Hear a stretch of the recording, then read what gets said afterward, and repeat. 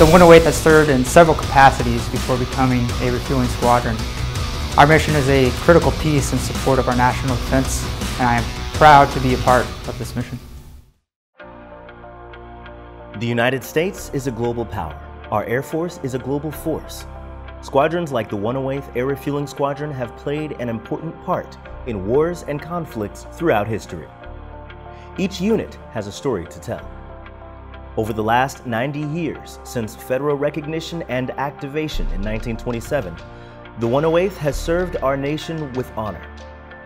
Over decades, the squadron has had many different designations.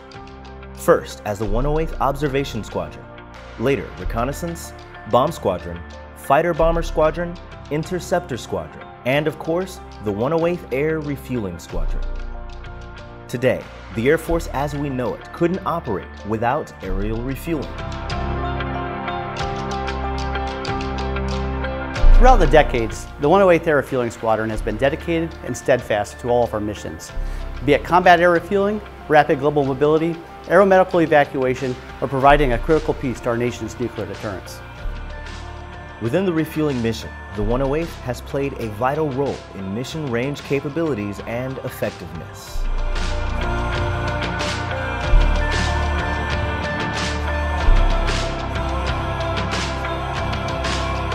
As an air refueling squadron, we provide combat aircraft the fuel they need to accomplish their mission. Air Force and Joint Force missions worldwide depend on us to multiply an aircraft's range and payload capability.